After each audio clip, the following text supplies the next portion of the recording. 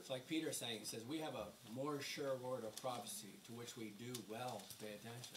Mm-hmm. We're already seeing these things fulfilled. Amen. Some of these promises we're not seeing afar off, mm-hmm. like the new birth. Or like, how about this one? They shall be willing in the day of his power. Is everyone in this room willing? Mm-hmm. That's a part you're partaking of that promise, and it, Yes. it encourages our further faith in the promises that are yet to be fulfilled. God is Amen. faithful. Amen. Amen. You can see that this this truth that we're in Christ. That now, you, when you when you see that rightly, then later you see we're going to be glorified together with them. You see, this makes perfect sense.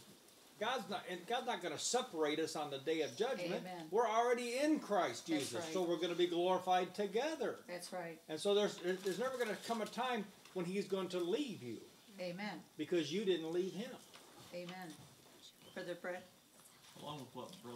Along with what Brother Levine was saying a minute ago about focusing on man causing, you know, the promises of God to be suffocated.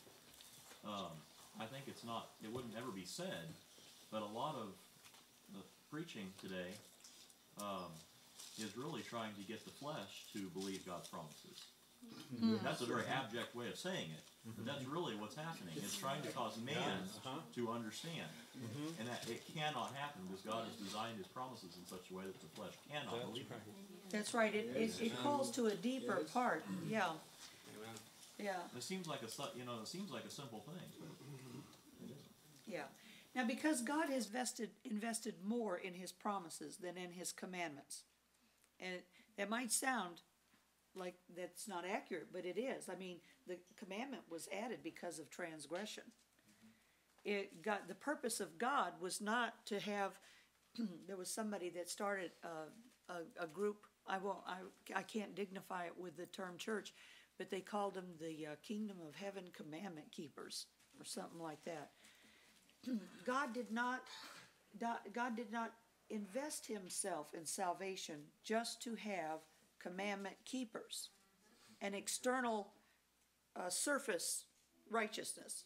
You know, even if that were like the Apostle Paul, a bunch of pre-conversion Apostle Pauls, you know, where it looked like you had done everything that God required. A bunch of unprofitable servants, doing only what we were commanded to do. His, his purpose was further than that. The commandment can't bring us that far. Promises bring us further than commandments. God has invested more in promises. Promises deal more with the essential part of man than a commandment does. A commandment reveals whenever we are unlike God, but a promise calls us to be joined to the and testify to the truth and and work of God.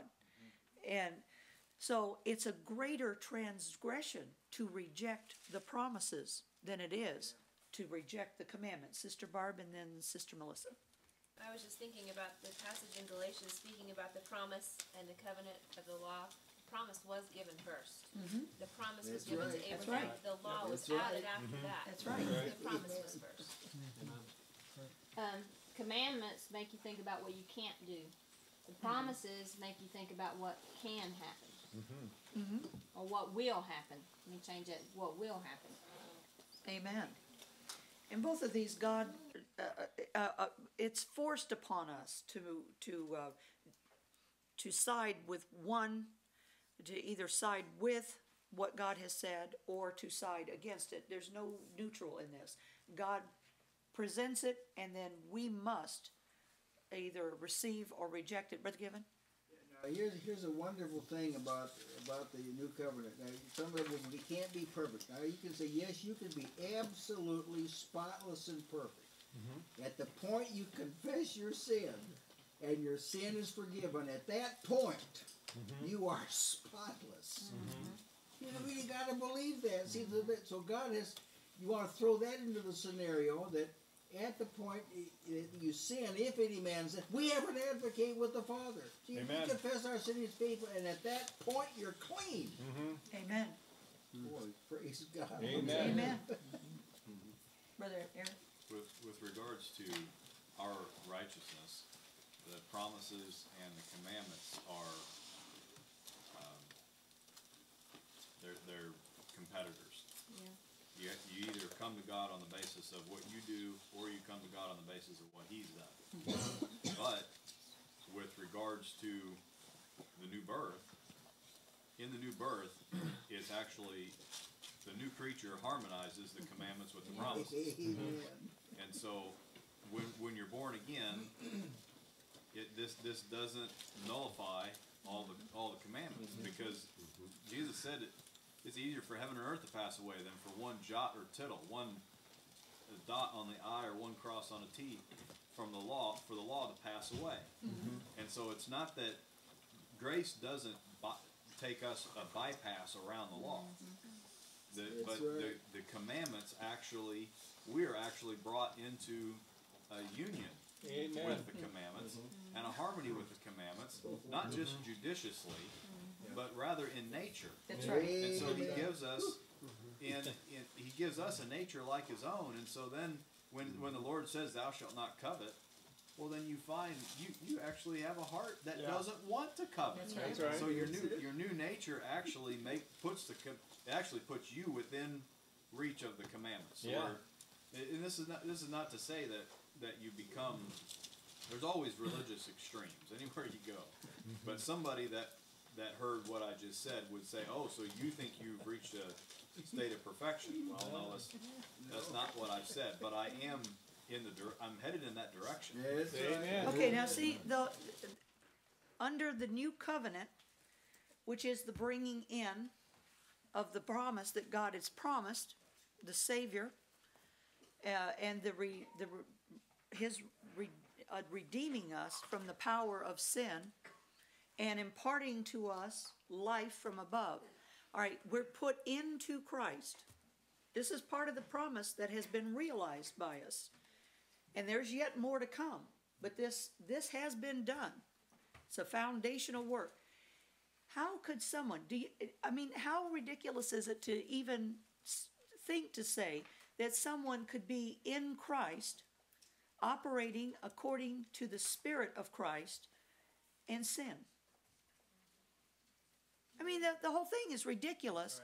If you get right down to it, the people who fight with this, the commandments and the promise and, and grace and law and all this stuff, they just haven't seen what it is to be in Christ. When Jesus came, he fulfilled the law. This is what we're being brought into.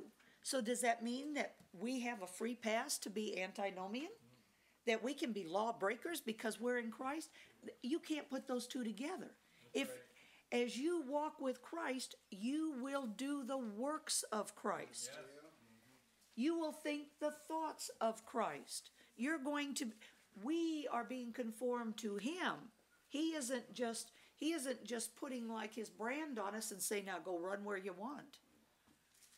We are we're being this this is a union closer than anything earth can really achieve. This is a spiritual union.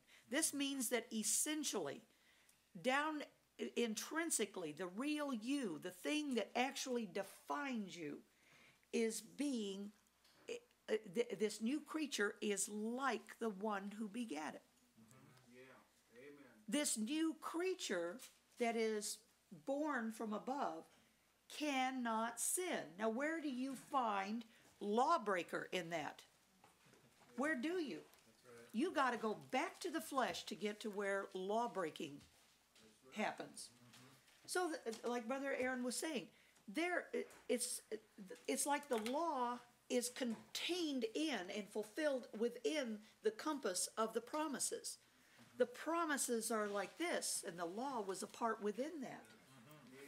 This, is precisely the apostles' argument here in Romans 3, 4, 5, 6, 7. That's right. 8 he says there at the end of what we call chapter three, do we then nullify the law through faith? May it Yeah. never be. On the contrary, we establish a law, and then he continues That's to right. talk about being That's justified right. by faith according to grace. That's Given the right. promises by faith according to grace. That's right. This is what God has intended. This is what He's showing us. Mm. And this is this is the rationale behind the apostles reasoning on this truth why the saints are to live holily and blamelessly externally because inside this is what we are. Brother ricky